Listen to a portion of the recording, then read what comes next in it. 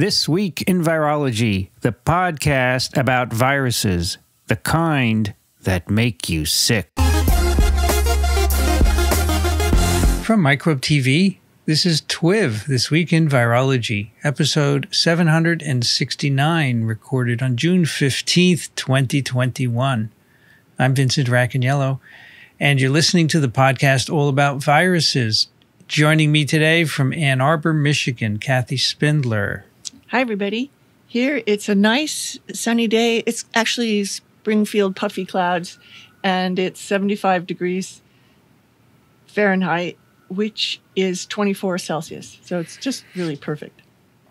Here it is 26 Celsius and partly cloudy. Also joining us from Madison, New Jersey, Brienne Barker. Hi, great to be here. It sounds like I have a combo of what Kathy and Vincent have because I have the blue skies and the bright fluffy clouds and all of that, um, but 79 Fahrenheit, 26 Celsius.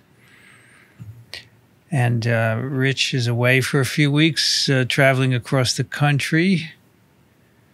Um, and that's usually it on Tuesdays, right? Yes. Mm-hmm. All right. Kathy, tell us about your ASV PSAs. Okay, public service announcements.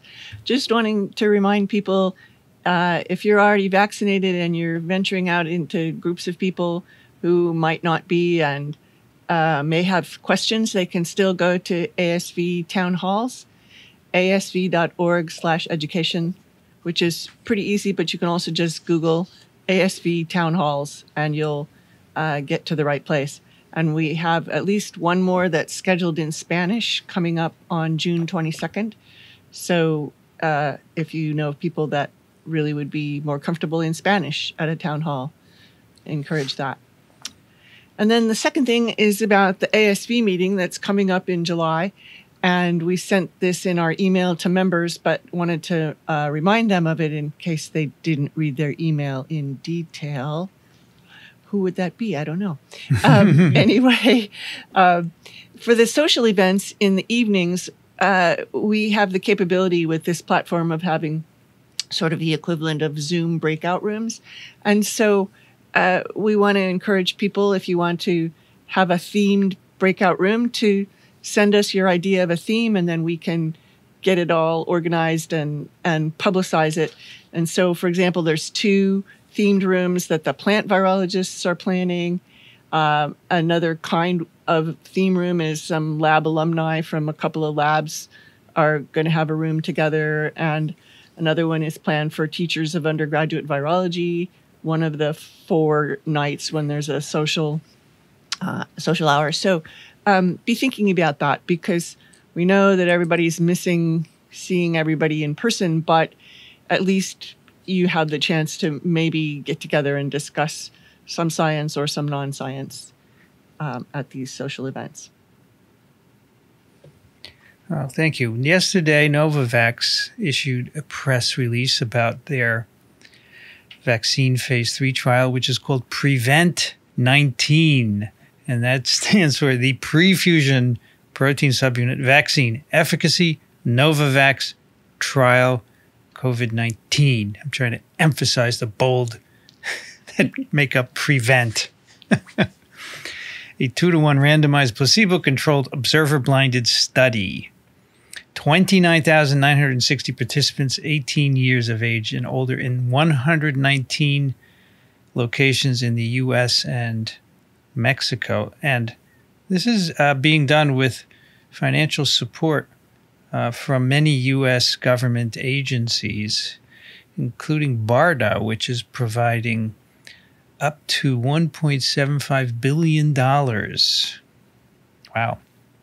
Anyway, uh, the numbers, I'm sure you're interested in this. Um, overall efficacy 90.4%.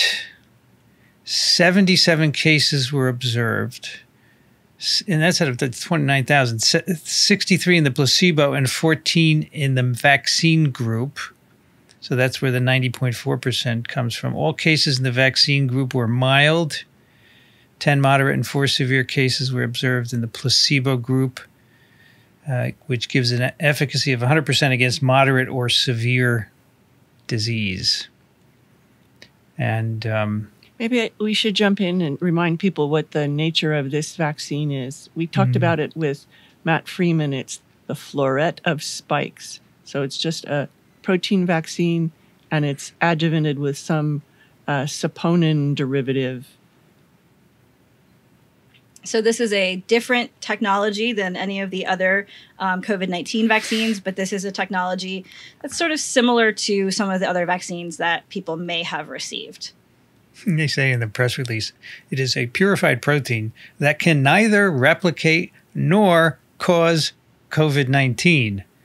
And I should also add, it will not integrate into your genome and it will not become a prion Right. and cause your prions to misfold. Man, I hear that all the time. oh, no. Really, I hadn't heard that one yet. Oh my gosh. Oh my gosh. Um, what the- we had a discussion one night. Someone got on and said, I'm an expert in prion diseases. Let me tell you all about this. And as soon as somebody says that, then you know that they're they're fake. Anyway, um, what else should we talk about? The, there was they had obviously some variants uh, involved in these infections. Um, let's see. They say 100 sequence data available for 54 of the 77 cases. So we know uh, in those cases which variant is involved. And they say um, 100% efficacy against variants not considered VOC VOI. Right. Variants of concern or variants of interest. And that's because they were doing this trial between January 25th through April 30th of 2021, when the um, alpha variant in particular was the predominant strain in the United States. Yeah. So, and they hope to uh, submit for emergency youth authorization in the third quarter. So that would be July, August, and September. So soon, and then by the fourth quarter, some uh, I can't find it now. Some large number of vaccines uh, are promised that will be uh, available hopefully not just in the US, but globally. We may we may end up giving a lot of this away or at low cost, which would be good. Yeah, that would be really fantastic. Yeah. Um, so it is still a two dose regimen, um, but uh, it seems to be very efficacious, and you know, giving it away uh, could really help out a lot of the places where this pandemic is very much raging.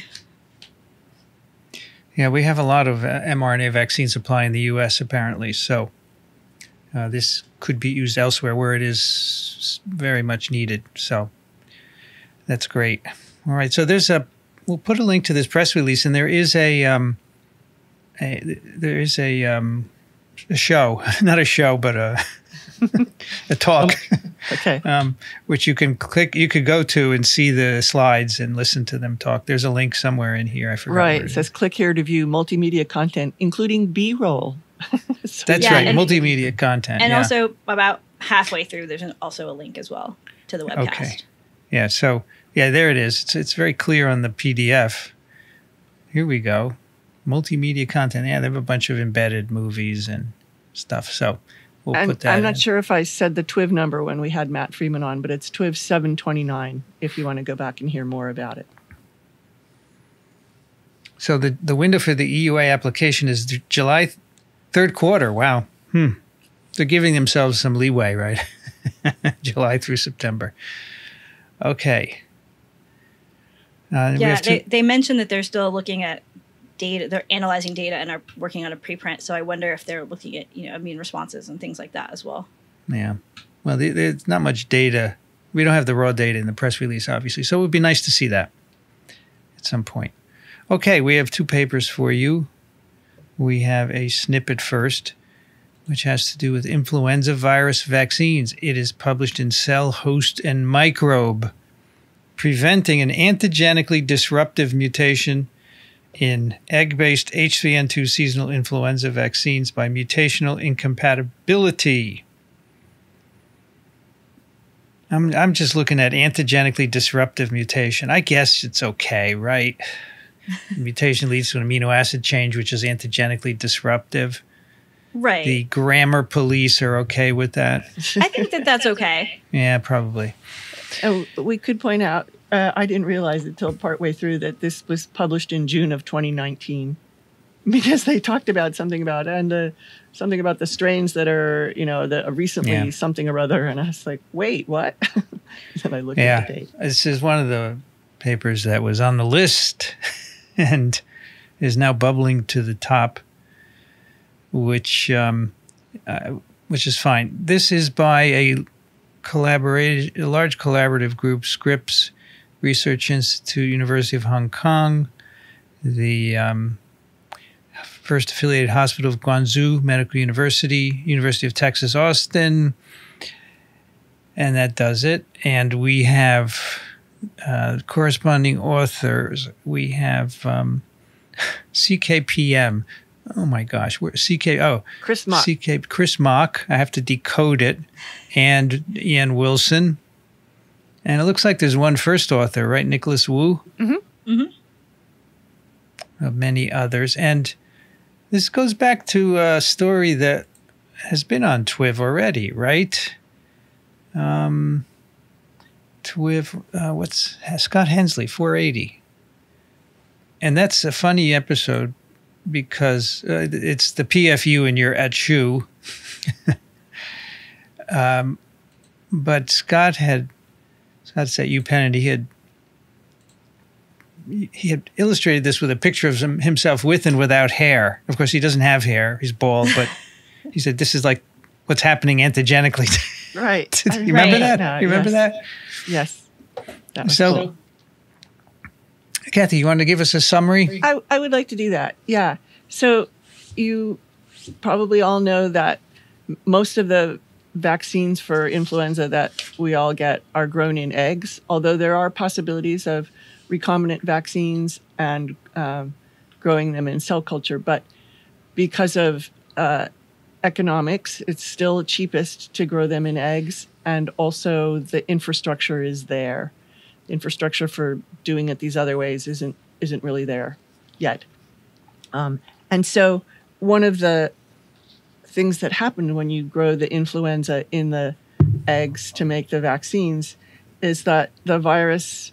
So you've the a group of people figure out which strains need to be grown up for this year's vaccine and so forth. And when those are grown in eggs, the viruses adapt to growing in eggs, having come from people. And growing in eggs makes them become egg adapted.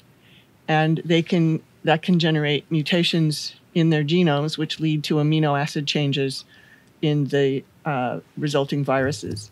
And that those some of those adaptive changes will result in changing the antigenicity of the virus. So, uh, and it could reduce the effectiveness of the virus if the resulting change is, is negative with respect to antigenicity. So, so would we say that this is one of the reasons why the flu vaccine efficacy sometimes is lower than we might ideally want? Right. So there's, as they say in the paper, there's basically two reasons. One is just a frank virus mismatch that happens occasionally, but this egg-based production can result in low efficacy or uh, effectiveness of the virus.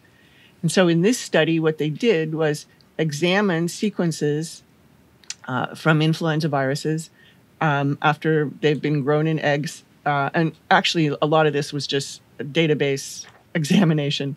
And they found that the two most common egg adaptive mutations uh, resulted in amino acid changes at two sites, but these two changes, which are most frequent, are incompatible with one another. They're mutually exclusive. You either have one or you have the other. And uh, so they go through and they figure out why that is. And the short answer is because of how the how the virus structure interacts with the receptor.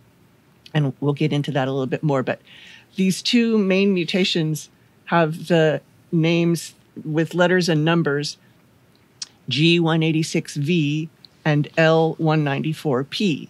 And uh, they have a nice graphical abstract that they show you right in the beginning that if you get the G186V, if the virus has that first, and it excludes the other egg adaptive mutation from coming into play, that the uh, adaptive changes will not be very deleterious for anagenicity. So I wanted to make myself a mnemonic for that. so G186V in my mind is good, G for vaccines, V.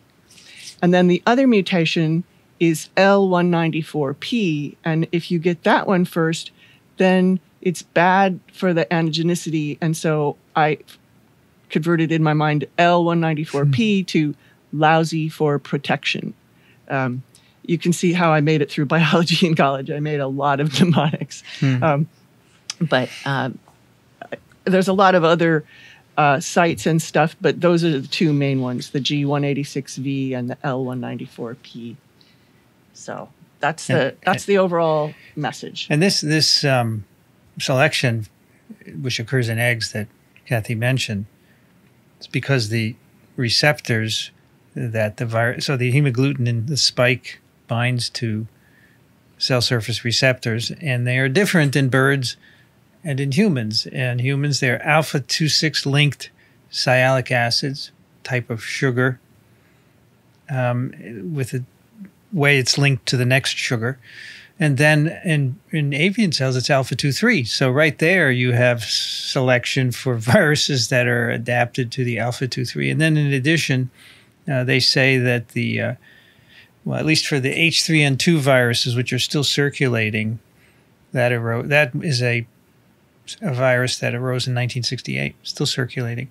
These have are mainly long branched alpha 2 6 uh, sialylated sugars, and that's very different from what's in the egg, alpha 2 3 length and short. They're, they tend to be short. So there's a pressure for the virus to change to, to accommodate the alpha 2 3.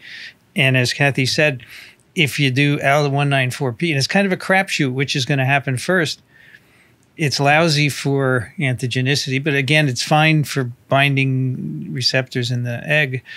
But if G186V happens to come up first, again, it's good for the receptor interaction, but it's also good for antigenicity, good for the vaccine. So, so would this sort of imply that when we are trying to make a vaccine, we could potentially sort of use a parental strain that already has the G186V um, to prevent L194P from emerging. Exactly. That's the bottom line. Yeah. In fact, we don't even have to do the paper now. That's the bottom line. What's interesting is you can't start with an H3N2 and introduce GA186V because in some countries that would be a genetically modified organism and it's not permitted. So what they said is you could go through and pick a plaque and look and find one that has G186V. In that case, it would be permitted. And then you're right. That one will then not accumulate L194P because, as you will see in this paper, they are incompatible. Um, but they also say there are other changes that are likely arise. We, we don't have a complete catalog of all the changes, and it could be that something else arises that you know negates uh, G186V. But you know, the G186V is good for growth in the egg, so maybe that's enough pressure. Hmm. Okay, so what they did here, as Kathy said, it's uh, mostly uh, examination of databases, although there, there is some wet experimenting as well. There's plenty of sequences of HA proteins in, in GISAID, Global Initiative for Sharing Avian Influenza Data, gisaid.org. And they say from that you can see there are nine amino acid changes. Although here I will quibble with their description. Nine mutations, namely H156Q, etc. Those are not mutations. Nine amino acid changes, namely H156Q, etc., were classified as the major egg adaptive changes. And that includes G186V and L194P. Seven of those are located either within or near the re- receptor binding site of the hemagglutinin. So remember, the hemagglutinin is a stalk-like protein with with a stem uh, that's inserted into the viral membrane. Then at the top, there's a globular domain, and there's the pocket where the sialic acid binds. So that's the receptor binding site. Every time I see RBS, I want to say ribosome binding site. I don't know. It's kind of wired into me. receptor binding site. So these changes are either in it or close, and that makes sense, right? Because they are selected to be able to allow the HA to bind the avian sialic acids in in the chicken egg. Um, and and um, in this paper, they want to know what's going on, and you've heard Kathy summarize it. So they they they noticed in this database that uh, G186V and L194P uh, are never together. So they said, can we make a virus that has both of these just to see if that's correct? And they have a way of doing that for influenza virus. Um, uh, you have to make eight plasmids representing the eight RNA segments and it's it's rather complicated. But each plasmid will make both the minus and the plus stranded RNA, and you put those all eight plasmids in a cell, and then out will come influenza virus. So that that's what they mean by a virus rescue. And I'm so happy that they called it virus rescue and not something else, which I will not. The the the the technique that will not be named. it's kind of like um, what's Voldemort. the guy Voldemort. Right. And in fact, um, they cannot rescue a virus with both G186V and L194P together. They're incompatible. Um, they could do the single ones, but not the two. So they say the evolutionary trajectories are influenced by whichever comes first. So they did a second experiment to address that. They start with G186V, a virus where they've put that in, and they start pass it, passing it from egg to egg. They never see L194P emerging. Of course, after three passages, they don't see it. never is too strong. Maybe if you did it forever, who knows? But that would have generated a lot of possibility. Possible. Yeah.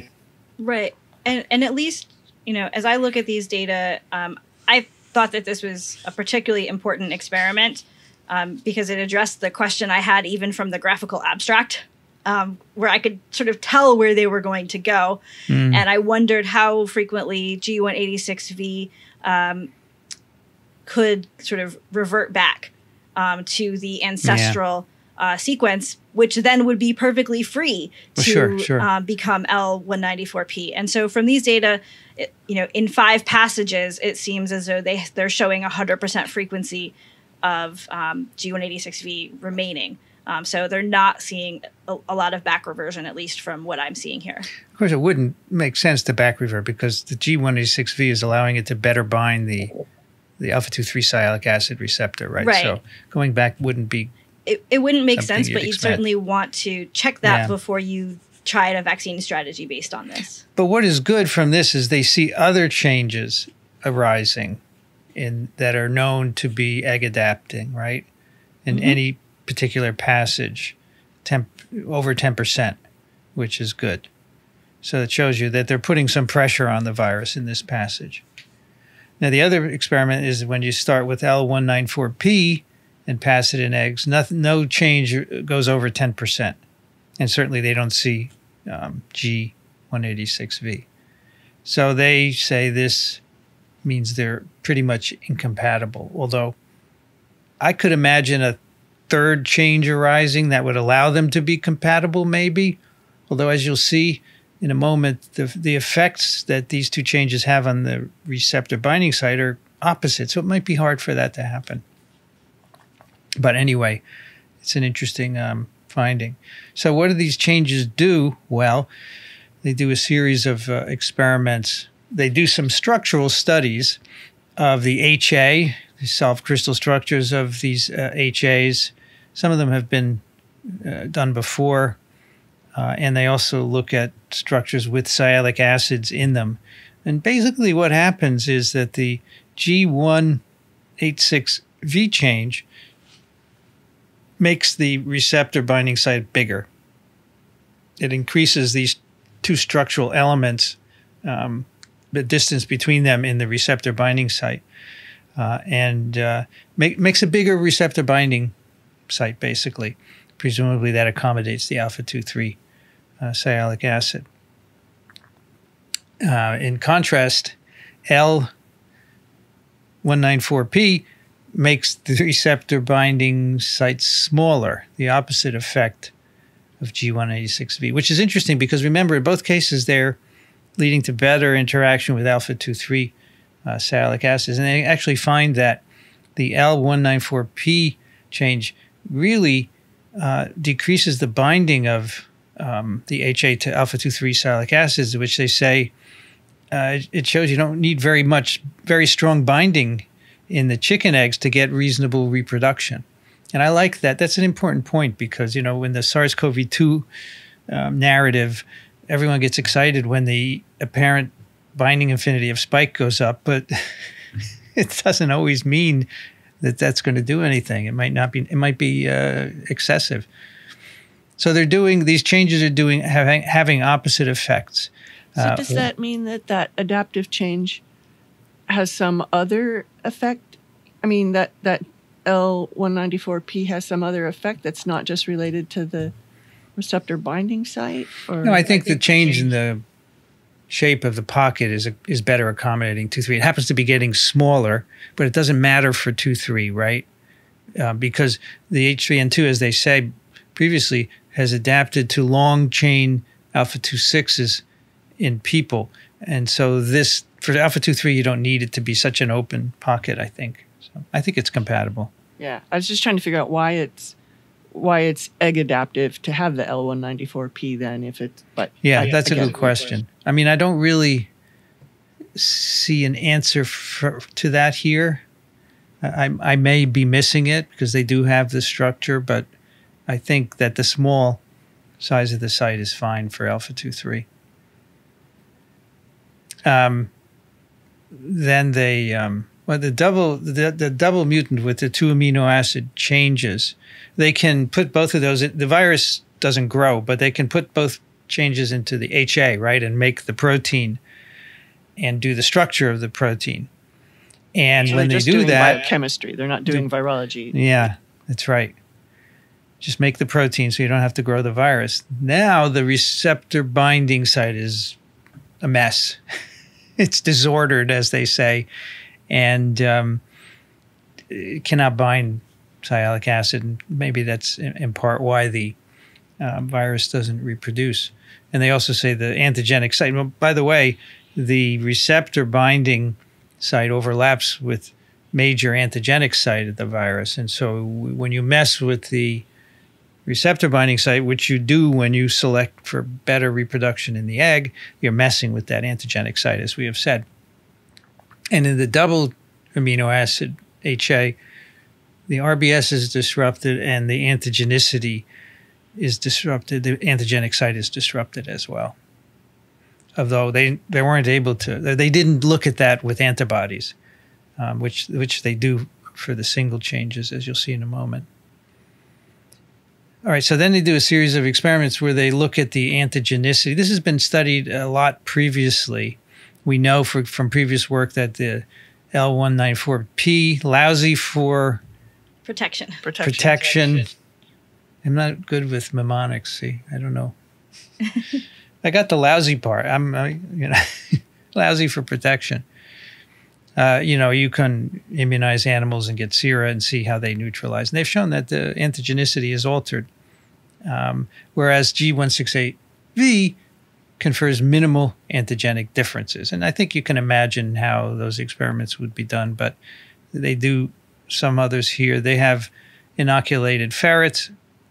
Actually, this is a previous work also. Inoculate ferrets with a virus carrying G186V, and you can take that sera and say, how well does it react, react with wild type virus or with other HA variants? And they say, uh, antisera, ferret antisera against G186V uh, have only a two-fold decrease in hemagglutination inhibition. So this is an assay that's frequently used to look at sera.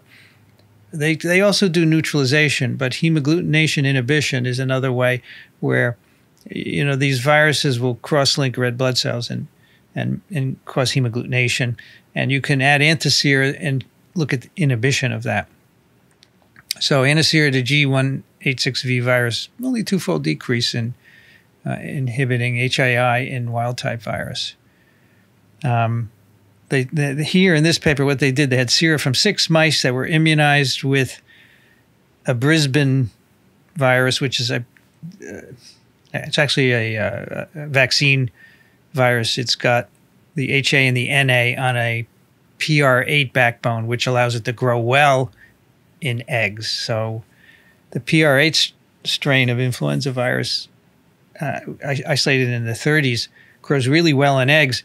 So whenever you want to make a vaccine, you just re- reassort the HA and NA genes into that, and it grows really well. So that's what Brisbane 7 is. It's H3N2 on the PR8 backbone. And they immunize mice with that. It's wild type. And then they ask, how does it do HAI with G1H6V, with L194P proteins? And they say for all serum samples binding to G81, G8, G186V was almost as good as to wild type, but binding to L194 was always weaker. So that is showing you the idea that G186V exhibits minimal antigenic change, whereas L194P doesn't. And you don't want an L194P. That's the bottom line. Yeah, it's lousy.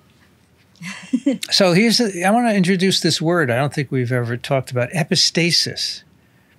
Non-additivity of mutational fitness effects is known as epistasis. So G186V confers fitness in, at the level of receptor interaction, right? Better interaction with alpha 2 3 sialic acids in the egg. Same thing for L194P.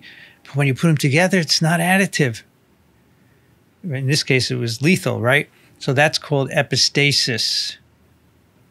So they say this study demonstrates that epistasis exists between egg adaptive mutations in the HA uh, in the receptor binding site.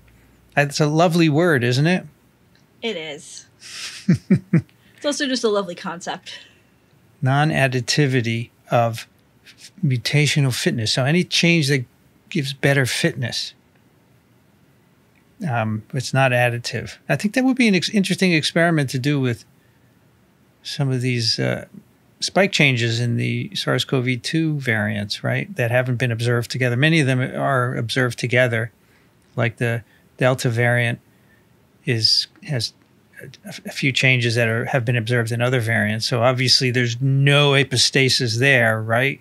Or maybe it is. Maybe it's not additive. That would still be epistasis. It right. doesn't have to be inhibitory, right? Just non-additive. Yeah, they could be influencing completely different things. Um, yeah. So they say the idea, as Brienne said originally, is we can put another egg adaptive change in and take advantage of epistasis to prevent the bad changes, which means the lousy changes from occurring. But, uh, you know, in countries that don't allow GMOs, you can't do that. So they say multiple egg adapted isolates from the same parental strain could be plaqued and sequenced, and, the, and you, you find, you know, L. Um, one one ninety four P, and then you start with that. Isn't that weird that you could do that? No, you want to start with the GV one. Sorry, GV but isn't it weird that you can do that, but you can't introduce it? You can't genetically modify it. I don't know well, what. At least there's ways. Yeah, we can get around that. But they do say that, you know, in the long run, we have to get away from eggs, which I think is a good idea. Yes. Um, you know, the I'm I'm they actually mention uh, an interesting approach, a dual HA influenza virus to allow efficient vaccine production in eggs without adaptation. That's interesting, right? One HA is already adapted to eggs, and the other is non-adapted, and will, you won't get selections. That's a great idea. That was published in 2017. Yeah, I was wondering if we're going to go back and do that sometime. It could be fun, right? Yeah. Um, and of course, there are cell-based vaccines, but they're harder to to produce. Right. Um, I, I my flu vaccine this past year uh, was a cell based vaccine for the first time ever. I got the uh, sheet from them after I had been vaccinated yeah. and was very excited to read that I had gotten a cell based vaccine. Was it Flucelvax? It was Flucelvax. Yeah, I think I got that too, but I got the old man's version or the old person's version. You know, the double dose. um, the lady who injected me said, "I'm I'm sorry to have to tell you, you need the old person's." said, "I know how old I am," so I convinced her to start listening to TWIV. This was like last last fall. So then they say, you know, the ultimate solution will be a universal vaccine. Yeah, but you know what? Is it going to be an mRNA based vaccine where you don't have to grow it in eggs at all? Who knows? I mean, that's that'll be interesting to see when that. We'll definitely cover that paper. Okay. Everybody happy? Cool story. Yes. I think it's a cool story. Yeah, meriting Soon we will have to get our next flu vaccine. twivable. Soon, man. What we're in June? You mean like September ish? Yeah. October. Yeah.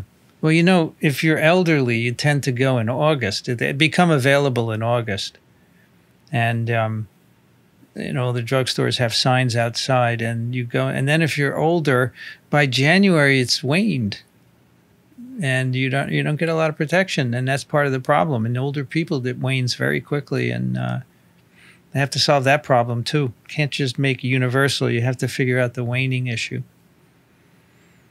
But if you remember the paper we did from Rafi Ahmed's group, where, you know, in mice, if you don't use an adjuvant in a flu vaccine, there's very little memory um, B cells produce. So, but, you know, some of these do have uh, adjuvants, so I don't know what the story is. All right. Uh, uh, for a paper, well, we are back to SARS CoV 2, but this is cool because it addresses something that well, certainly Daniel Griffin has talked about it a lot. We've all heard about it. Multi-system inflammatory syndrome in children. This is a paper from the Journal of Clinical Investigation, which is open access. And the title is MISC is driven by zonulin dependent loss of gut mucosal barrier. And this is um, a group of institutions Massachusetts General Hospital, Harvard Medical School, Brigham and Women's. The um, I love this one, the Wyss Institute for Biologically Inspired Engineering. That's cool. The Ragon Institute, um, Cedar Sinai Medical Center. Ooh, oh, the European Biomedical Research Institute of Salerno. Okay. So what do we have here? Cor- a lot of three corresponding authors: Fasano, Walt, and Yonker. And as far as I see, hmm, yes, we have two pound signs. So three, three first authors: Lael Yonker, Tal Gilboa, and Alana Ogata. And then we had those two, Walt and Fasano, uh, corresponding authors. Um, and on this paper, I recognize George Church and Moshe Arditi and Galit Alter. Moshe Arditi, as you will see, um, his group his group works on Kawasaki's Kawasaki disease, and he identified a super antigen in the spike protein of um, SARS-CoV-2. And I've asked, asked him to come on and talk about this I'd like to. We, we should have a, a super antigen person on. Yeah, I, I think that some of the ideas that come out of what could be going on with Spike as a super antigen are really, really fascinating.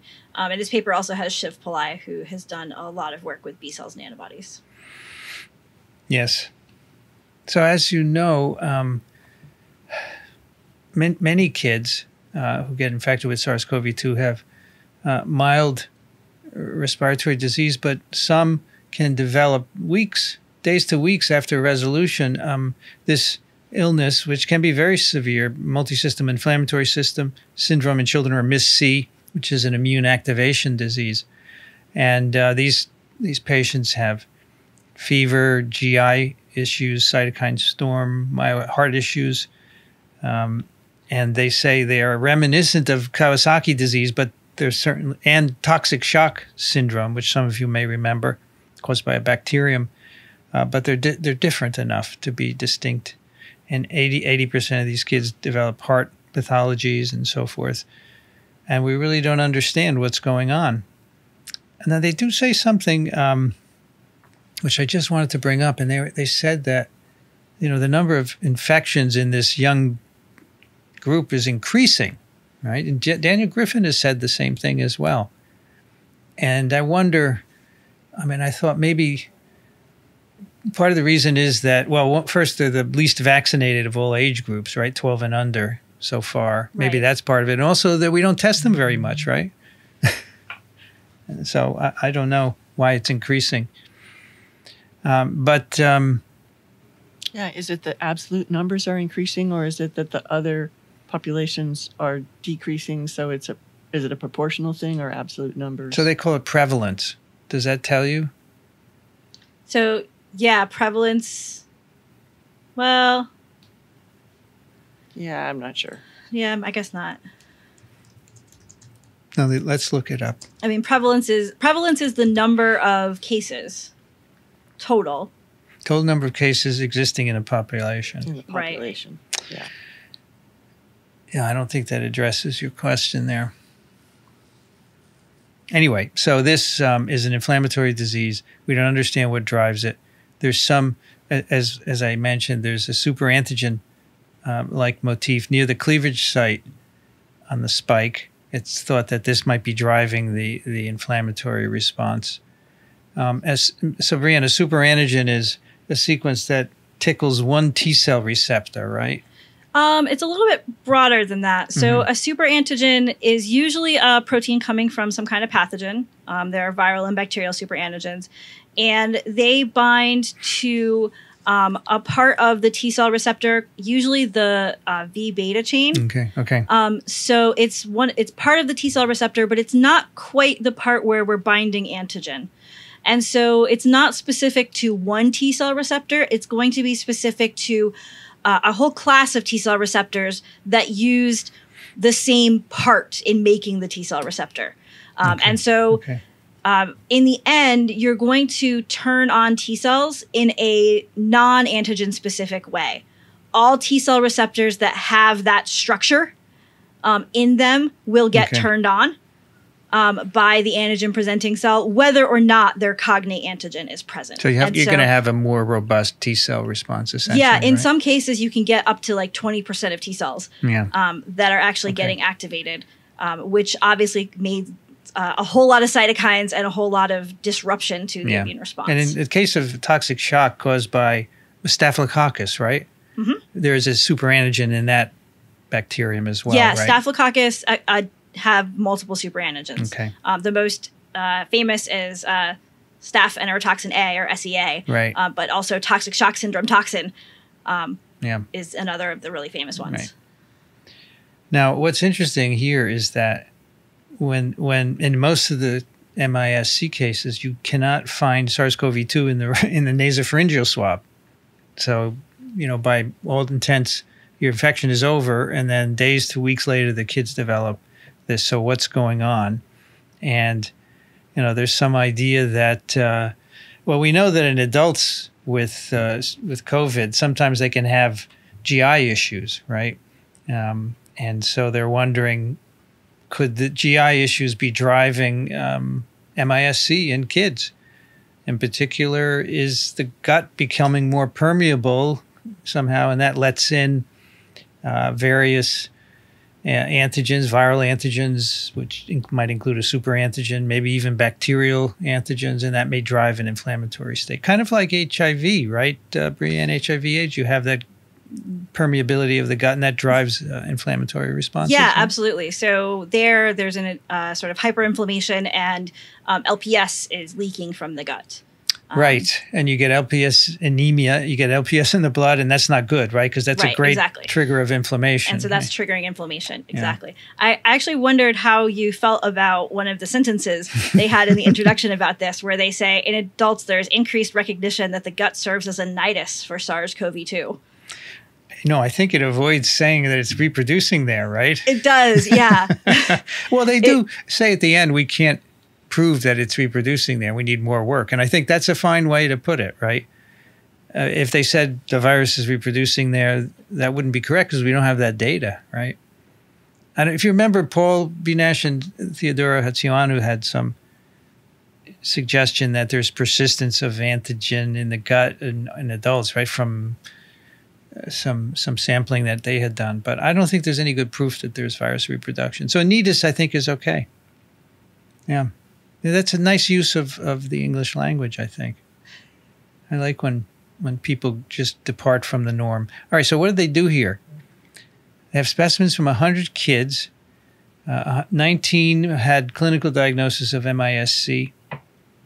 Uh, 26 had COVID, PCR confirmed COVID 19, and 55 were non COVID controls. 32 of those were pre pandemic. So these are obviously samples they've had for a while. Average age with, uh, with children with MISC is eight years old. The COVID kids were 14.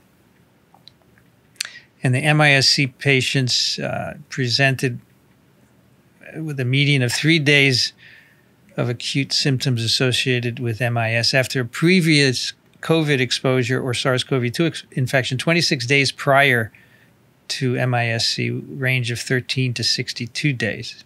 GI symptoms predominant in the MISC cohort. 89% of these patients had GI symptoms compared to 27% with COVID 19. Okay. So just to emphasize that again, so more GI symptoms in the kids with the MISC yeah. than in kids who have COVID 19. 89% compared to 27%. The p value is 0.0001 if you are liking p values. Okay, so um, they look at um, so they say most children with MIS have negative nasopharyngeal swabs. So somehow this is not related to respiratory infection. So what they do is they measure uh, SARS-CoV-2 RNA in stool samples, which were collected weeks after the initial SARS-CoV-2 infection, and um, most of their patients had viral RNA in the stool from uh, 1.5 times 10 to the 2 to 2.5 times 10 to the seventh RNA copies per milliliter and they say suggesting an ongoing nidus of infection. Now, there, Brianne, they're a little more conclusive, aren't they? Uh huh. a nidus of infection. They didn't say that before. I don't know if it suggests a nidus of infection. You know, we have talked about how RNA can stick around a long time, right? After the infection's over. Yep. So that could be going on. All right. So now they, they get into the gut permeability. So they say a large, an intact mucosal barrier should prevent antigens from getting into the blood, right? And zonulin, a family of proteins that uh, can regulate intestinal permeability uh, at the at the tight junctions that the that join the cells. Um, and they say that you know you you can see increased zonulin in the circulation correlating with increased intestinal permeability in a variety of diseases like celiac disease, inflammatory bowel disease, and Kawasaki disease. That's interesting. I didn't know that. So zonulin release can cause perme- perm- trafficking of large inflammatory antigens from the gut into the bloodstream. So you know, think of the cells lining the gut; they're tightly joined, and if zonulin um, is present, the junctions will open up and then proteins can get into the blood. So they looked and they said, do these kids with MISC have more zonulin in their circulation? And they looked at that by mass spec. Um, and they do they find that they find increased um, levels of zonulin in, in, in MISC children. They also find increased levels of LPS in the this is in the circulation in the blood which would be consistent with, um, you know, decreased mucosal barrier in the gut. So and, again, suggesting that the bacteria are maybe getting out. Bacteria being the source of the lipopolysaccharide LPS. Right. And none of the and then another marker, CD14, marker of microbial translocation. Do you know anything about that, Brianne?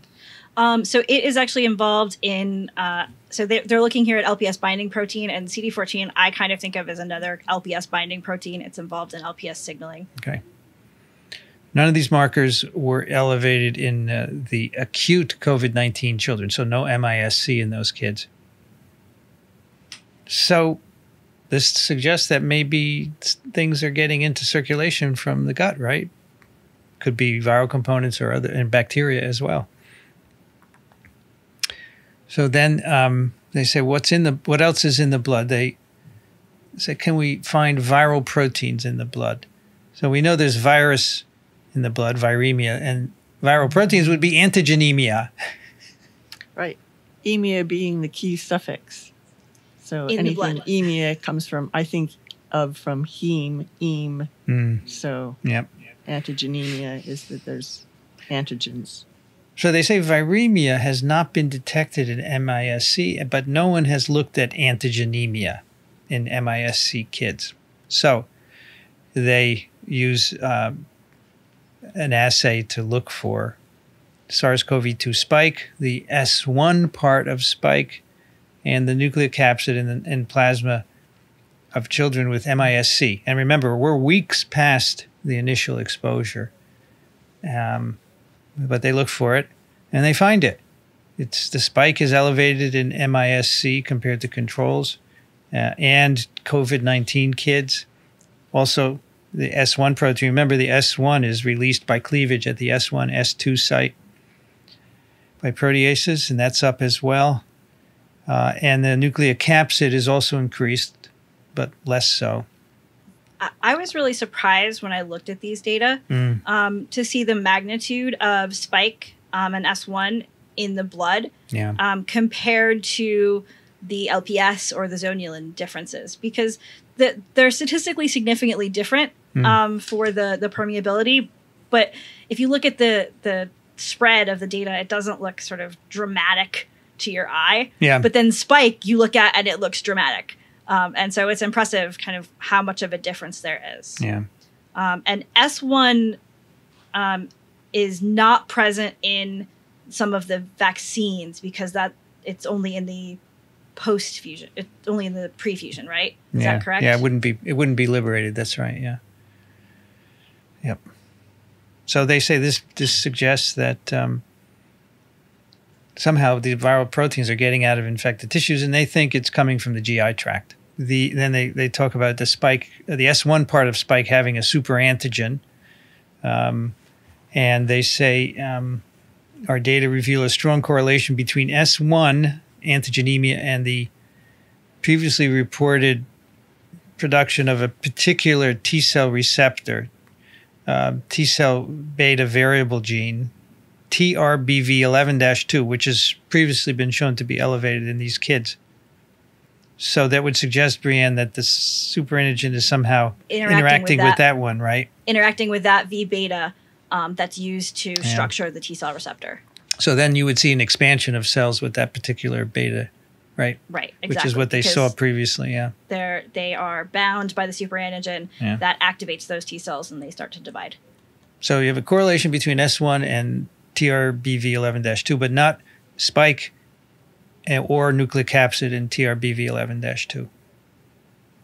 Is that is that um, surprising or not surprising, Brian? So if the so S should have the superantigen. So why would S1 would it just be available in S1 or what? I, I think it would probably be available and able to bind more easily. Um, Hmm. And, you know, I don't know things like the frequency of how much of that spike that they're putting in becomes converted to S1 or things like that. Yeah. Hmm. These kids also have what they call cytokine storm. So some people still use the term. Uh, they measure IL 1 beta, IL 6, IL 10, TNF alpha. They also have elevated interferon gamma. But it's interesting because in adults, this interferon gamma can be suppressed. So here, a while after the initial infection, this is up. And then antibodies. They look at antibodies in these kids.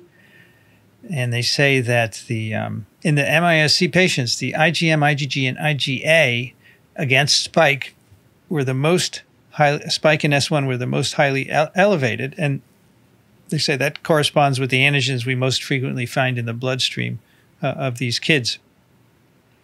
And they say anti spike remains higher than would be expected given that this is weeks after the original exposure. Although they do say it is going down. Do you think you have any thoughts about that, Brienne? Why well, would that well, be? so I mean, if if you have too many T cells activated, or if you have Mhm. a lot of T cells activated, those T cells are going to activate more B cells. They're going to be producing more cytokines that can act as growth factors um, for those B Okay. cells. and um, anti-spike, uh, anti-S1 IgG, and anti-RBD IgG are the highest in the delayed onset MISC. IgA, spike IgA, S1 IgA, and RBD IgA are all significantly increased in MISC, and anti-spike IgA remains, this is their word, unexpectedly elevated for months after the initial infection. So they say this must be, you know, ongoing antigenic exposure uh, in mucosal surfaces. So it could be, in, there's nothing in the respiratory tract, right? Because these kids are nasopharyngeal RT-PCR negative. So it must be another mucosal site, which they think is the gut. There's viral antigens there that are somehow uh, keeping these an- these uh, antibodies being produced. Yeah, I mean, they they don't show us that it's an- viral antigen, um, and so you can't say that. Well, maybe it's just not a whole lot of T cell helper cytokines Yeah. helping out those B cells uh, to keep them around. Um, but uh, that's that's so that's one I guess issue, but uh, it is Yeah. suggestive of antigen. They do uh, some neutralization assays, plasma neutralization capacity. Um, they say neutralization titers were comparable between children from both groups, which is interesting because they said before that the IgG levels are higher, right? And so they're saying that there's more IgG, but not all of it is neutralizing. Ineffective neutralization, poor antigen clearance, ongoing viral antigen leakage, they think is is contributing to the inflammation. Right, but if if that those antibodies are predominantly against S1 instead of other parts of spike, then perhaps they wouldn't be neutralizing. Yeah, they said that anti-S is is uh, elevated as well, right? Anti-spike and anti-S1 IgG are both high, so I know I think you have both, but they don't really talk about that very much. Yeah, they don't really talk about that, and, and you could get into whether or not the anti-spike contains S1 and other uh, epitope, or Yeah. whether it's just anti-S1, or yeah. sort of what exactly that elevated anti-spike means. So they did some longitudinal studies in these kids. Um, they they note that in adults you can get antigenemia, but it's typically early um, and associated with pulmonary symptoms. Um, but in MISC, the antigenemia is associated with GI symptoms much later. So they did multi samples. They look at um, antigen over time since MISC symptom onset. So they say in adults, it's known that the viral antigens are rapidly cleared uh, as seroconversion happens. But in these kids, spike rises over the first few days of MISC and persists for greater than 10 days, occasionally through six months, despite seroconversion. Right? So you, these kids should have cleared um, their antigens, but in uh, at symptom onset, they're going up again the high presence of spike in seroconverted patients is never it was not observed in any adult COVID-19 cases.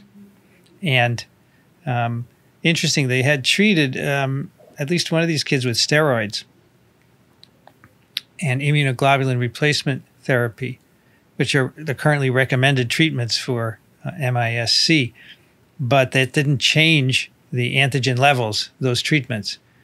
And they say that these therapies are, are targeting the downstream consequences, right? The inflammatory responses, but they're not hitting the source of the antigenemia, which is perhaps why they don't work.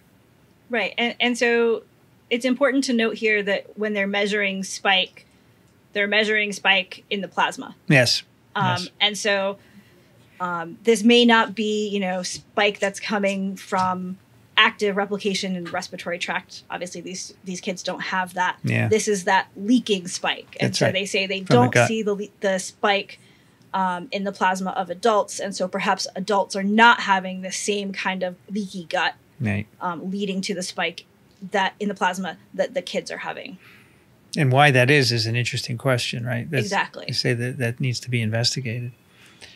So then they have this interesting case where they um, they say they say okay if zonulin is uh, involved in gut permeability, um, maybe well we have a drug that is an antagonist of zonulin. It's called larazotide. It's an investigational drug. It's in phase three trials for celiac. Uh, it seems to have a good safety profile. So they applied for compassionate use to a 17 month old boy with MISC, which this poor kid had all kinds of problems, A lot of other.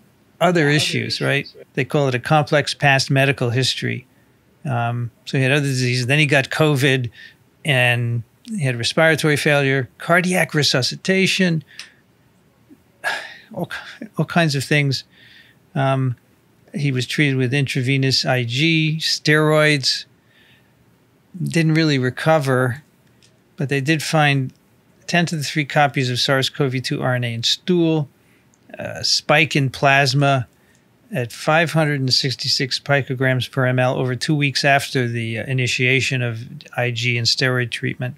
So they decided to treat him with larazotide uh, every six hours. And uh, he, um, you know, his, his CRP levels dropped. Um, his spike dropped 90% um, after initiation of therapy. Nucleocapsid dropped by 98%. Fever improved. D dimer improved. Cytokines went down. Um, and he, he achieved his longest stretches without fever since admission. His GI symptoms improved, and he was able to resume full feeds. His ventilatory, ventilatory status improved as well. So at this point, when I was reading this paper, I wrote down, like David Fagenbaum, he, they figured out the underlying cause, Yeah. and then they looked, and there's this experimental drug, and they tried it, and now they're going to need to do uh, randomized controlled trials. That's right. But it, it just seemed very parallel to me. Yeah, I, I also found it interesting that it looks like, I guess the anakinra was given before the latrosinide. For some reason, at one point, Yeah. I couldn't tell if it was before or if it was at the same time. Um, but I guess it looks like it's before. It's yeah, the, steroids IVIG, that the are at same steroids, and the anakinra Okay. were all given earlier. Yeah, I, I, I guess they didn't work, so they decided to try this based on their um, their data so far, which is you know that's the David Feigenbaum approach. You get some data, and you decide, and they did here. They thought that uh, the and, permeability. And in this case, they had to get the it as compassionate use. yeah, Um, also, this uh, larazotide, uh, I- did the rich thing. I looked it up in Wikipedia. hmm It's eight amino acid peptide that functions as a tight junction regulator, reversing leaky junctions. But the eight amino acids are found in the zonulin protein. Hmm. So it makes you think about how it, you know, if it's some kind of competition, you know, as how it's inhibiting the the zonulin from Interesting. getting released. So in the in the graphical abstract, they have zonulin binding looks like a receptor, right? And um, maybe it is the peptide binds, but doesn't do the same. You know, maybe it's a antagonist, right? Yeah, I, I'm just curious about what other clinical conditions zonulin inhibition might be used for. It looks like celiac. Right. Yeah, inflammatory bowel, Yeah. those kinds of things. Yeah. Um, I, I wonder what happened to the kid. I hope I hope he survived. But they do say, um, yeah, we should do a trial for this, um, for zonulin um, inhibitors for uh, MISC. Brianne, I had a question. Um, when they go through the discussion, it's all pretty straightforward. Um, they, they, you know, they talk again about the superantigen um, and the TRBV11-2 skewing, but are there any consequences of that? Can we can we do anything based on that? Um To my knowledge, I you know I don't think I can't think of anything specific that we'd be able to do. Really, what you need to do in those cases is get rid of the super antigen, um, so that Mhm. you stop those T cells. Um, so you know, some he's probably also you know getting so much T cell activation that some of those T cells may be um, either getting deleted or getting exhausted, and so he may kind of eventually lose function Hmm. of T cells with that V beta. Um, and he's just generally going to have um, a cytokine storm. Um, but I'm not sure that there's anything that we're going to be able to do with um, that knowledge of the V beta because just because um, we're turning on the T cells with that V beta, um, that doesn't mean that those are actually SARS-CoV-2 specific T cells. Hmm. They Hmm. could be specific to anything. It just so happens that the structure of their T cell receptor includes this one part. But they're not self T cells, right? Because those have been eliminated.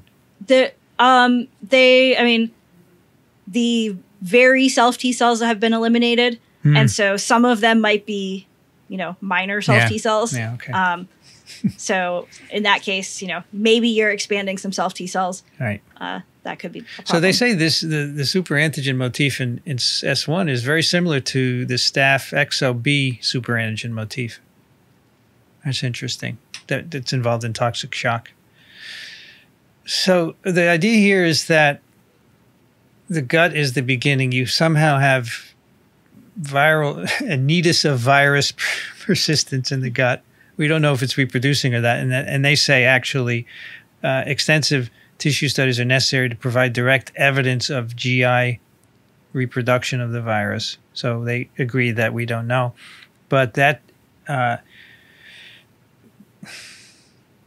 what is leading to the zonulin production and permeability? So yeah, that's that's the key question.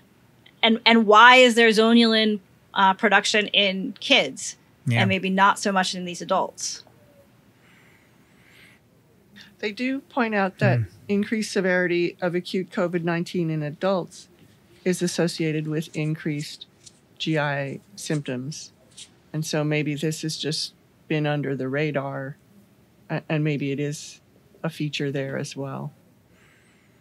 So it is not necessarily a, a consequence of having SARS-CoV-2 in the gut, right? Right. But when zonulin is made and it opens up the gut, then the SARS-CoV-2 proteins go in the gut and they cause inflammation as well as maybe some bacterial proteins, right? Well, it's more that it's not that they go into the gut; it's that I'm they sorry. leave the gut. They and go into the bloodstream, yeah. And the the presumably uh, Brienne, the super antigens are doing their thing in the in lymph nodes, right? That would be the idea, yes. Hmm. So they may be so you know you could imagine that maybe the super antigen is doing something in the lymph node. Some T cell that gets expanded Yeah. happens to either directly um, influence zonulin or sort of indirectly influence zonulin, or maybe the Right. cytokines are influencing it. So That that's harder to they tell. talk a little bit about Kawasaki disease, another inflammatory disease that has some some similarities to MISC. So there's a mouse model uh, for this. Uh, they say there's a mouse model of Kawasaki where increased intestinal permeability has been associated with higher levels of circulating IgA and deposition in cardiovascular lesions. And they say in the mouse, if you block intestinal permeability with um, is that the same one that we used here? AT1001? Anyway, inhibitor of zonulin. I believe so. Yes. You get uh, reduced uh, cardiovascular lesions. So it's a kind of a link between the two. Well, you could imagine if there is plasma leakage of LPS and other things, that's going to cause a lot of physiological problems, Yeah. um, inflammation in a lot of parts of the body. And so that could be a part of some of the pathology that's being seen here. So, one interesting thing to me is that, you know, I think this is a journal geared toward clinicians. Yep. And so, after the, uh, where is it? It's in the abstract, then they have the concluding sentence in the abstract, but then they have the brief summary. Yep. In MISC, increased gastrointestinal mucosal permeability allows SARS CoV 2 antigens in the GI tract to leak into the bloodstream, triggering cytokine storm and hyperinflammatory responses. So they don't have to read the whole paper, they can just read the brief summary. There's even a conclusion at the end of the discussion. Another one. Data shown here advance our understanding of MISC, revealing potential biomarkers and pathways for treating and preventing. I think it's pretty exciting. Yeah, the idea that zonulin is a biomarker, uh, or these, or I guess the CD14 or the uh, LPS binding protein. Ooh, the viral antigenemia too, right? Because that's not there in a, in acute COVID. So, Right. And, and I think, you know, there have been um, some reports around that have suggested a superantigen um, being part of this virus. Um, Mhm. But, you know, none of them have been sort of super obvious, at least to, to what I've seen. And so this is also a very nice suggestion when they show these changes in that T cell uh, V beta usage um, that further, you know, say in humans, this can be a super antigen. Um, and I, I certainly hope that we are able to um, have uh, somebody who's working on that come because I, I have a my my list of questions is very long. so Bri- Brian, uh, you might have just said this, but let me ask it: Is there any indication that superantigen of SARS-CoV-2 has any role in pathogenesis early, you know, before MISC in the regular COVID? Um, I I think that there are speculations about that, Okay. but I don't think that there's any evidence that has shown it for sure okay. yet. Okay. In addition to the abstract, the summary, the conclusion, and so forth, they also have the graphical abstract, Yeah. and then they have a final model figure at the end also. So you could uh, just a lot of ways to get the message from this paper. Yeah, yeah, there it is. It's a good picture of a kid, right, with uh, the gut opening up, and we have SARS-CoV-2 virus in the gut. We have RNA also there. I think this could happen without reproduction, right? Just persistence of particles for whatever reason. Yeah, the Journal of Clinical Investigation does a nice job. I was on their editorial board. So what they do is the editorial board moves from institution to institution every five years or so. And it was here at Columbia for a while. And actually, so they get people from the local institution to be part of the editorial board, right? And Beth Levine was on it, and then she moved, so they asked me to join, you know, halfway through. And I mean, I, I'm not a clinician, but they, they do get a lot of basic virology. And so what you would do is get the submissions and decide whether to send them out for review. And then when the reviews come, we would actually meet in person every week and discuss them. It's kind of nice. Um, That's cool. but um, I thought it was fair and um, uh, well organized. And I, after us, I think it went to Penn. I don't know where it is anymore. Yeah, JCI Insight is here at U of M, but that's different from JCI. What's that? Is that a separate journal? Uh, it's a sub journal. I mean, a Okay. spin off journal. I, yeah. All right, let's do some email. Uh, Kathy, can you take that first one? Oh, I wanted to just do one little follow up. Oh, yeah, For from last week, I mentioned the business columnists articles that I thought were really good about discussing the SARS-CoV-2 origins, and I mistakenly said that he writes for the New York Times. In fact, I meant to say he writes for the LA Times. It's Michael Hiltzik of the Los Angeles Times. Right. So, worth checking out his column. But he lives in Brooklyn.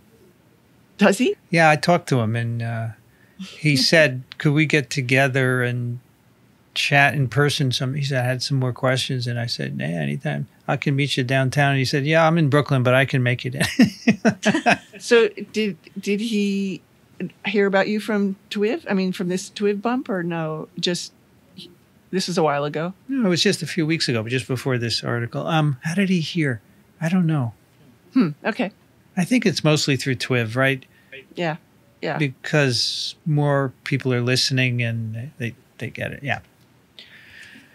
Um, actually, he was very good. Yes, it was through TWIV because he said I saw the um, WHO committee episode and he said, "Could you send me a few TWIV episodes where you address the lab leak hypothesis. So I sent him a couple because he wanted to listen to them before he spoke to me, which I thought was great. That's that's impressive. And then a week later, we talked, and um, and then he said, I, I have some papers I don't understand. I wonder, you know, do you have a student who I could sit down with? And I said, Well, you could sit down with me.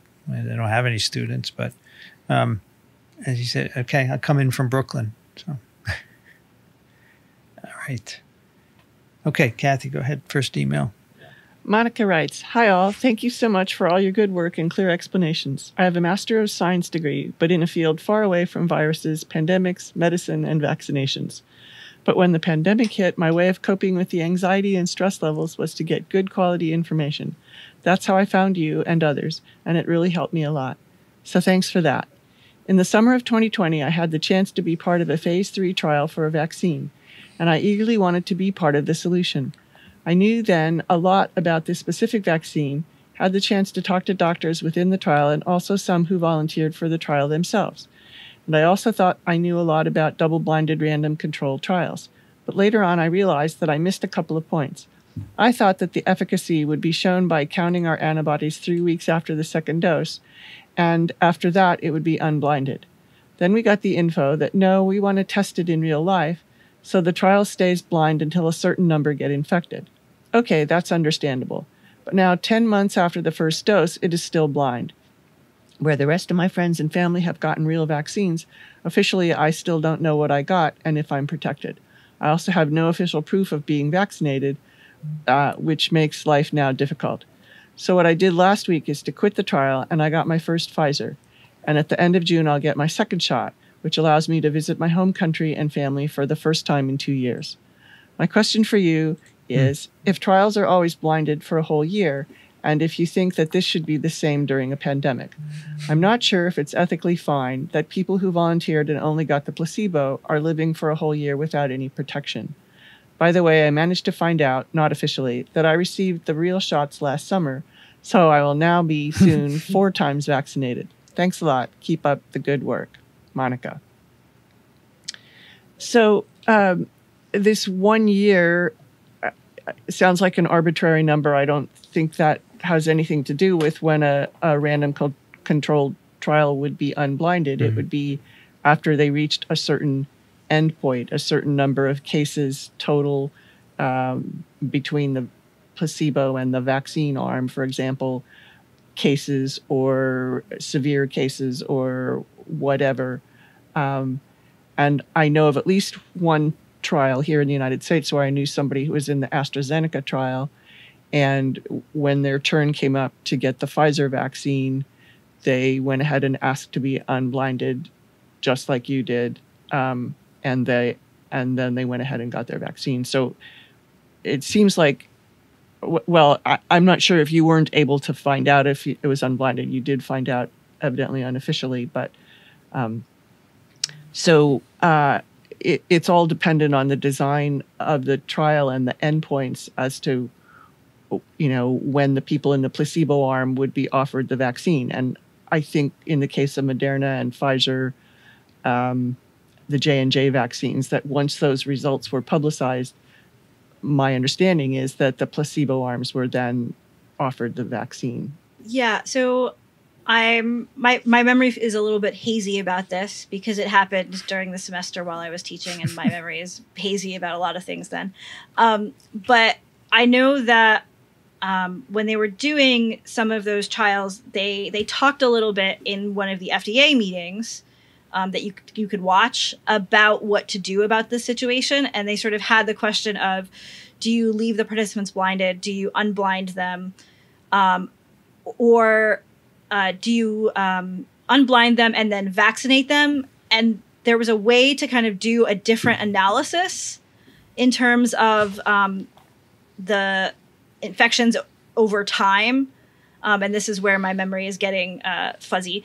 Um, but I remember that there it from that that there seemed to be a few different approaches to how you could deal with this problem that the company sort of had to choose um, when they were getting to this point. Right. And Monica points out that she was a trial volunteer for the Sinopharm, which is an inactivated virus vaccine. So, not one of the ones that talking about trials that happened in the United States. So, uh, it, it may have been different, but yeah. So, it sounds like you're going to have four vaccine shots. So, should be well covered. I think, um, you know, it depends on how quickly they reach their milestones, right? And um, like the Novavax, you, as you see, the numbers are low compared to the total enrollment, but it took longer for them to uh, to to get to that number. Because remember, Matt Freeman was saying it should be done in May, so which is only, I guess, last month. Yeah. Mm-hmm. Right. That. Well, and the Depending on how data- long it took to analyze the data, maybe it was done in May. Well, Yeah, the Novavax said it was through April. The, the data that they talked about, I thought, was through April. Okay, so it took a while it, to. it was in a time when there was there were f- you know fewer cases. So it's that problem that you have when there's yeah. less virus infection going on. It's going to take longer to get enough people yeah. infected to get to your endpoint. But if I mean, all this is written in your agreement that you signed, and they may have something like says, "Well, we may decide to extend it," and you have to look at that. Um, you know, the ten months. I mean, if they reach their endpoints, they should tell people. It seems to me, that, especially I think in a pandemic, you should do that, right? In a non-pandemic situation where it's not an emergency, you could take more time. But yeah, I think you did the right thing to get yourself vaccinated. right. So does so that implies that the Sinopharm is still that that clinical trial is still going on. It does, yeah, yeah. Brienne, Yes. So Bob writes looking at booster shots from another perspective. if I am just over two weeks past my second Pfizer mRNA shot, I expect, I expect that my antibody count will be at a local high and that my T cells will be at the ready to defend me to the best of their ability. Should I actively seek close, unmasked contact with a person who is in their SARS CoV 2 contagious stage that has been infected with a quote unquote vac- vaccine escape enabled variant? I'm thinking that the resulting boost that I receive will gain me improved protection against future variants. Bob, just a mechanical engineer on Vancouver Island in British Columbia, Canada. Um, my feeling on this, Bob, is no. Um, you should not seek out infection. Um, while the vaccines are fabulous um, and incredibly uh, impressive vaccines, um, they are not 100% efficacious um, in protecting you from all disease. And I don't know that I'd want to risk it. I agree. I would not. I would not Yeah. seek this out. no, don't do that. I think the data coming in on vaccines show that they work well against most of the variants. So I don't think you need to do this. Um, and anyway, where would you go? And you know, you're in Canada. How do you know what's circulating? And what are you going to go to India to to check out Delta? I wouldn't do that. Yeah, I, I, I'm not sure that you can, you know, go out and meet random people and sequence Yeah. their virus Yeah. and then decide with whom you should have close contact. Don't do that. Uh, Lori writes, I listen to the TWIV periodically and have a COVID related question that I thought would be posed to your team, best posed to your team. Now that I'm fully vaccinated, is it safe to return to in person worship at my church without a mask and without distancing? Seems that everyone has jumped on this bandwagon, but I wasn't sure if this was safe, and I still have some reservations. But I'm eager to attend church in person once again. Any insights that you can provide would be most appreciated. Thank you. Uh, I don't want to give any. I I wouldn't personally do it yet. I still am not going to restaurants yet, because as as Brian said, the vaccine isn't hundred percent, and um, I think I, I don't know. What do you think? What do you guys think? What should we tell Lori? Well, I'm looking up the CDC recommendations for fully vaccinated adults. Yeah. And it says you can resume activities that you did prior to the pandemic without wearing a mask or physical distancing, except where required by federal, state, local, tribal, or territorial laws, rules, and regulations. Yeah, so I think that's what the CDC says. I think the one piece I would mention to Lori is for me, it is somewhat dependent on um, the virus levels in the area that I'm in and sort of the vaccine levels in the area that I'm in. Um, and so I would think about how much virus uh, is there in your community in making this decision. Right. And for instance, if you're in Vermont, where by midnight tonight they're going to take off all restrictions because there's 80% vaccinated adult Mm. uh, levels, um, I I think it would be fine. Yeah, that's true. Um, It's a good point. So it, I agree with Brianne. It, it depends where you are. Um, I know some places are uh, doing outdoor church, especially now that it's summertime and it's something that you can do. Uh, what I haven't seen, and I wish somebody could um, goose the CDC to say, um, you know, give some kind of recommendation for singing outdoors, Mm. distanced. Do people also need to be masked? Uh, but there's no advice on that. Right. People have been asking me for that. And and I've been telling people that you know if wearing a mask makes you more comfortable, you should keep wearing the mask. Yeah. Um, there there's no reason to you have to stop wearing it. Um, and if you see someone ma- wearing a mask, then who knows why they are, and just go with it. You don't need to say something to them. You don't need to ask them what's going on. Um, there there are a lot of days recently where I've been wearing my mask because the pollen count is high. Mhm. Um, and I've noticed that it, I've anecdotally noticed that it helps, and I am willing to go with that. Yeah, well, you know, some churches may require masks still, right? Uh, there, it's up to them. I know a lot. The store I go to requires a mask. Here at Columbia, we need to wear a mask, except if you're alone in your office, which is what I am now. So it depends where you are. But if uh, as if the state is low, and uh, um, yeah, I think that would be fine, Lori. But you could wear a mask too if you're worried. I mean, here on the street, I see a mix of people with and without masks. Same thing in New Jersey. It's a mix. Some people are not, and they're okay. Some people want to still wear masks. I think it's fine. Uh, let's do one more round. Um, Kathy. Sebastian writes Hi, Twiv. Hello from Belgium, where the weather is an untypical but extremely pleasant 23 degrees Celsius and sunny. I became a regular listener of Twiv ever since COVID made me want to brush up on my virology, but recently I find myself liking, liking the non COVID episodes more and more. Yay! I just finished out episode 756 on the development of new polio vaccines and their test in the 68 containers Poliopolis. I had the chance to listen to Hilde Revitz at the 2018 meeting of the Belgian Society of Microbiology and remembered a neat detail you didn't mention. Belgium switched from OPV to IPV, so oral polio vaccine to inactivated polio vaccine, only in 2000 and has a very high polio vaccine uptake, meaning that at the time of the trial, almost the entire adult population had some level of gut immunity.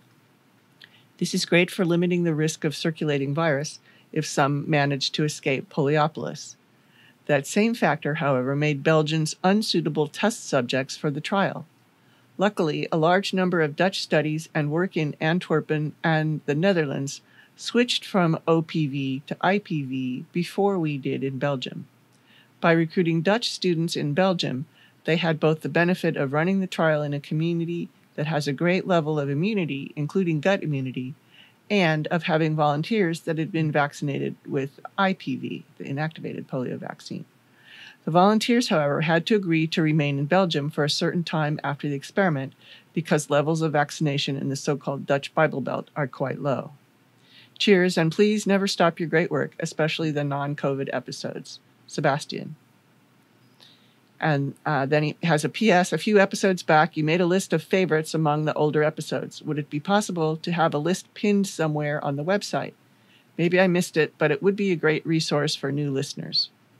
So I don't know. You'd have to talk to Vincent, the webmaster, to see if that could be done. but I did go back and find out which episode it was. It was in the letters section of 762. And um, just for starters, some of the uh, centennial ones 200 400 and 500 were recommended uh, 68 ode to a plaque concerto in b fauci pharmacy and uh, West Nile virus number one, TWIV number one, and also that we pointed out that at the end of most years we do a roundup of the f- about 10 favorites for the year. So if you listen to the last one in December, or the first one in January, that will give you highlights for that particular year. So, um, but that uh, story about Belgium, did you know about that, Vincent? I didn't. That's very cool. I like that.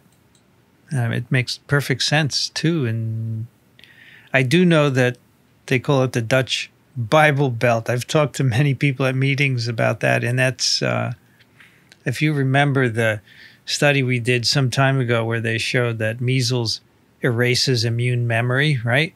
They That was used on immune. kids in the, was it that was in a uh, was that on immune? Yeah. Yeah, Immune 26. Uh, yeah, we had Michael Mina on for that, didn't we? Yeah. Yes. Yeah.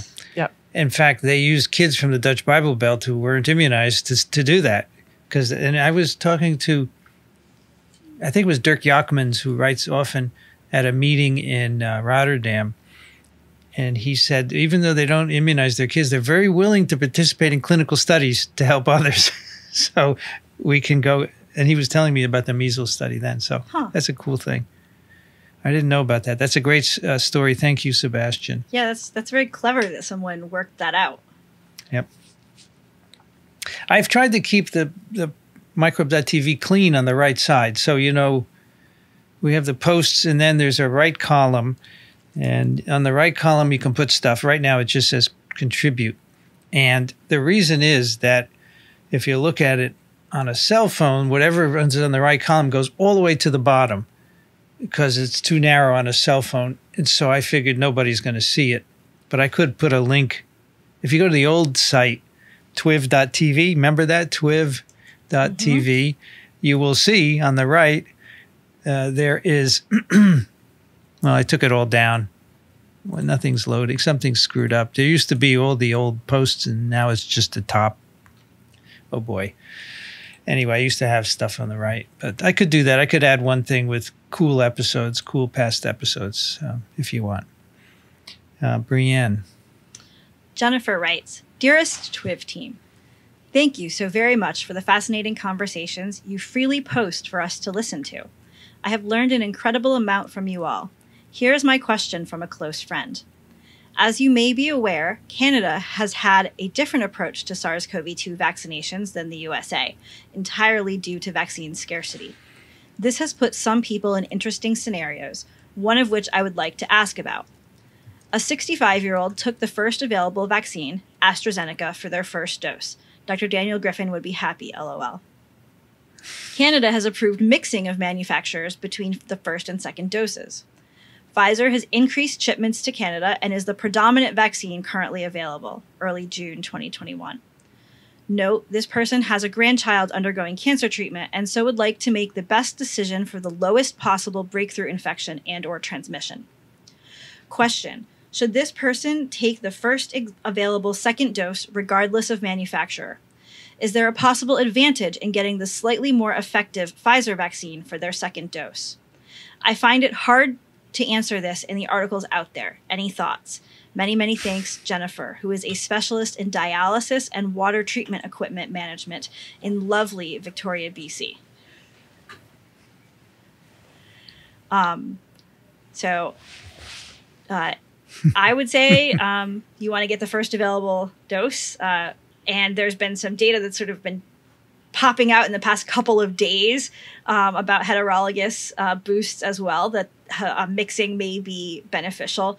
Um, and uh, Daniel also says to get the first available uh, second dose. Right. When I when I first read this question, I also was thinking about something else that Daniel said on TWIV 767, and he was talking about uh, people coming to the United States who are just partway through their vaccine series for COVID, uh, and they've gotten um, their first dose elsewhere, um, and what should they get for their second dose? And if it's something on the WHO list, then getting a second dose of any of the three that are that have emergency use authorization uh, is fine. If their first dose was something that's not on the WHO list, then they should just start from scratch. Great. I think I captured that correctly from what he said. I was gardening when I was listening, so paying attention. All right. As Kevin writes, hello, Vincent and Twiv team. Uh, This may sound like a strange question, but how good are you guys? Let me explain why I ask. My degree is in physics, far away from what you guys talk about, but I have always tried to have a scientific, logical, objective, evidential outlook on life, and it seems to me that is what you do as well. When discussing the pandemic with friends, I sometimes mention TWIV episodes, but sometimes get the reply, but who are those guys? It's only four people having a chat. Why should I believe them and not doctor slash prof insert name? Is there some international association of senior virologists that you are a part of? Is there another measure of credibility that I can point to when I mention you? Anyway, keep up the good work. I enjoy listening and watching, even if I don't understand what you are talking about half the time. Thanks, Kevin. Well, Kevin, it's all about being experts. That's why we started to TWIV. We're virologists. And, and Kathy compiled a little summary. Now, several of us have had long careers in virology. Kathy, 45 plus years. Me, 45 plus. Similar for Rich. That means researching, teaching, writing about viruses. 18 years of experience in academic uh, virology for Brianne, as well as having done and still doing research on viruses and immunology, having served as reviewers on NIH study section. And I and Rich were both chairs of virology study sections, editors and reviewers for virology journals, Vincent Kathy, Rich Brianne, having served in offices at the American Society uh, for Virology. I have been counselor and president. Uh, Kathy and Rich have been program chair, and Kathy is currently secretary treasurer. Uh, Vincent, Rich, and Kathy are members of the American Academy of Microbiology. You can look that up. Alan got his PhD in virology in my lab. He subsequently trained and has uh, experience in science writing. And Dixon, of course, has a distinguished career in parasitology. You can find some of this at microbe.tv slash people. There's actually a website that's been up for years that describes everyone's uh, expertise. I happen to have a, a Wikipedia page, and I was just looking at it, and it seems that someone has made a Wikipedia page for TWIV, which I didn't know about, and it's pretty cute. Um, it's funny. This week in virology, abbreviated as TWIV, pronounced phonetically. Uh, it, it says here that the podcast uh, gained a significant audience during the COVID pandemic, and um, there are frequent segments featuring frontline researchers, including director of the NIAID, Tony Fauci. um, and then they have uh, some links below, and they say during this time, due to the Trump administration's conflicting statements about the nature and severity of the pandemic, the podcast received criticism from some quarters for getting too involved in politics, to which the panelist replied they wouldn't get involved in politics if politics wouldn't get involved in science. Look, we got an article by William Joy. We got TWIV 645. We got a Columbia University article. We have uh, guests, a link to the guest page, which I haven't kept up. We have a link to Daniel Griffin and a Dorchester Reporter article from Bill Walczak. The Virology Podcast TWIV has become an essential source for COVID 19 news. So thank you. That's pretty cool. I say length 40 minutes to two and a half hours. they got everybody here. And Dixon also has a, a Wikipedia page as well. So, anyway, that's uh, Kevin. You can find a lot of information on us. And you should listen to virologists when you have questions about virology, not some random person who says they're a doctor or a prof and you have no idea about them that you meet on Facebook or Twitter or whatever. If you can't validate them, I agree. It's hard to listen. So there you go. We're validatable. Did I miss anything? Is that good? That's fine. Yeah. Rich will be excited to know that there's that Twiv is in Wikipedia. It's kind of funny that he hadn't already found I it. I just found it today. Just looking now, I saw, I went to my page to make sure it was still there, and then I saw Twiv had a link, so I followed that. Um, Dixon, of course, exciting. has had more years than uh, than us in in parasitology. So, I mean, that was my in all the podcasts. My goal is to get people who are experts in the field. So, and that's why people are, are turning to us, Kevin, for advice. But you know, the thing is that we've talked about this before. Sometimes people don't care about knowledge, right? They only care about what they hear and what they believe, you know. And so I don't care if you have 40 years of experience. That's just the way it is. What can you do? Time for some picks of the week. Brianne, what do you have for us? Uh, so my picks are some gifts that I recently bought for uh, Mhm. some friends' young children um, that we have really been enjoying uh, reading to the kids. Um, so there is a baby university series, um, and I uh, gave uh, my friends' children uh, pandemics for babies, germ theory for babies, and vaccines for babies. Um, and um, my friends afterwards said, you know, I learned a lot of things from that pandemics book. Um, and so they're really cute. Uh, the kids seem to really like them, and they actually have some useful information. Uh, Hmm, so very cool. fun uh, for people to take a look at. That's a really cool. Thanks. That's great to know because people you always need gifts. At the, um, every time I come over, um, I have to read uh, pandemics for babies and vaccines for babies. Uh, the the two year old is uh, in, pretty insistent on that. Cool. Nice. Very good. Kathy, what do you have for us? I picked a YouTube video that's a minute and 30 seconds long called Playing with Time from Macro Room. And it's time lapse photography. Of, oh, it's just so cool. And uh, it, for me, auto loaded to another one after that. And so I wrote in the show notes here, bet you can't watch just one. Um, and this was a, a suggestion from Isabel. So thanks, Isabel, for this. But check it out. Uh, They're amazing. Cool. Yeah. Uh, my pick is a New York Times article about Shi Zhengli. Uh, it's kind of an interview. A top virologist in China at center of a pandemic storm speaks out. So they spoke with her, I guess, by text mainly or email. Yeah, email. Um, and she basically says, you know, I this didn't come from my lab. We weren't working on it. How can I er- offer evidence for something where there is no evidence? She said, her voice rising in anger during the brief conversation. I don't know what the world has come to, constantly pouring filth on an innocent scientist. So the thing is that I have always believed her, and um, it's just the, the subheading here China's habitual secrecy makes her claims hard to validate. Why don't you just believe someone, folks? if she says with a lot of passion it didn't come from me, why isn't the default to believe her? I give the default. And you know, there's a picture of her in her lab. It looks totally like a Western BSL 4 lab, right? Spotless and organized. And she was trained in the West.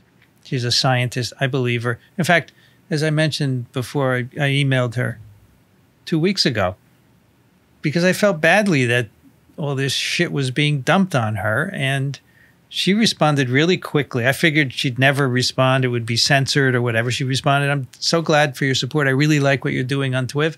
And it's too bad that um, people have to do this, you know? So I felt a lot of humanity there. And um, I think this is. And then Relman has to be goddamn quoted, uh, you know, saying we have to have transparent investigation. I don't know what his agenda is, Relman. He's and this is a guy who was also a pain in the butt during the H5N1. And whenever there's some experiment he doesn't like, I, I and he was the driver behind the science letter. By the way, uh, Kathy, you might might I don't know if you were on when we read the letter from Pamela Bjorkman um, couple of weeks ago or last week. Do you remember? Uh, I can't remember if I was on, but I certainly heard it. she said, it. "I'm sorry I signed it. It wasn't the intent that I meant, and I'm glad she had the courage to come out. Was, I don't think that's the right letter to sign because it is being investigated. Anyway, Shi Zhengli, we're we're behind you here on Twiv, and um, we have to find the source of this in nature. I think it's really important. And I, I, I what bugs me the most is some of my colleagues here think it came from her lab, and I don't get it. And I've told them why it didn't, and they don't believe me. And I've been here for 40 years or whatever. And it just, that just bothers me because you're not looking at science. And what's the main reason? Oh, is it, the, the lab is right there where it started. Are you serious? Yeah. Seriously, folks. Yeah, I, I really, that one really frustrates me. Um, you know, the reason why the CDC is in Atlanta is that there was a lot of malaria in Atlanta. And so we built a lab there. And after SARS 1, they said this seems like a place where there might be future outbreaks. Let's build a lab here. So, if anything, it tells them they were right. Anyway, this will sh- be shown eventually to have come from somewhere in nature. We don't know where. And uh, that's the end of it, but it will take time. Would it take 10 years for SARS 1, right, to figure it out? Yeah. And I'm sure Dr. Shi just wants to do her science. Yeah. Uh, and she, I, I read this this morning at home, and um, she does say something about you know some work that she wants to publish soon and so forth, and all this other stuff can only be distracting and a, a time sink to have to to deal. With. I mean, with. can you imagine the pressure of, of thinking that the whole world thinks it came? I just can't imagine what she's going That's through. got to be so frustrating and so upsetting. It, and you know, you know, it didn't originate, and you can't do anything about it. uh, Bob Gallo's quoted, "She's a stellar scientist, extremely careful with a rigorous work ethic." Yeah, I'm glad that at least Yeah. they, they said that about it. Anyway, anyway, it's uh, it's, it's good to to hear from her. All right, that's uh, Twiv. 769. The show notes are at microbe.tv slash twiv. You can send us your questions and comments, twiv at microbe.tv. And if you like what we do, consider supporting us, microbe.tv slash contribute. You know, just because you've got vaccinated doesn't mean you have to stop supporting us. It's not a lot of money, you know. It's like a cup of coffee a month, and it really helps us a lot. Uh, so uh, we want to continue to provide um, science fact and a little bit of diversion here and there. Kathy Spindler's at the University of Michigan. Thanks, Kathy. Thanks. This is a lot of fun. Brianne Barker's at Drew University. BioProf Barker on Twitter. Thanks, Brianne. thanks. It was great to be here. I'm Vincent Racaniello. You can find me at virology.blog. I'd like to thank the American Society for Virology and the American Society for Microbiology for their support of TWIV and Ronald Jenkins for the music. This episode of TWIV was recorded, edited, and posted by me, Vincent Racaniello. You've been listening to This Week in Virology. Thanks for joining us. We'll be back soon. Another TWIV is viral.